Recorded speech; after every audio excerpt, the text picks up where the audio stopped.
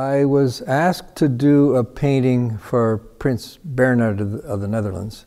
Uh, so I decided to do a painting which I called Endangered Spaces. A lot of the spaces on the planet are endangered.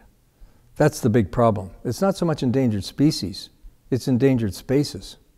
And when possible, I go into the field to paint if I can find a reason to do it. Because it's, although I don't do the whole painting in the field, it's lovely just being out in nature, breathing, so it's nice to be out there in nature, especially near a waterfall. Rushing water like that gives you the negative ions, which is great. So this is the finished painting. Now that face is okay. Uh, maybe it's not the most terrific bear face but it's, uh, that I've painted, but I think it's okay. I have him kind of roaring at you. You're an intruder. Uh, you're into his territory as they do fight over bits of waterfall.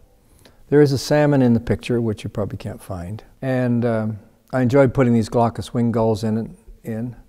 They're not seagulls. No, there's no such thing as a seagull. But they're our local gull that follow the ferries. Partly because Degas has things going off the picture.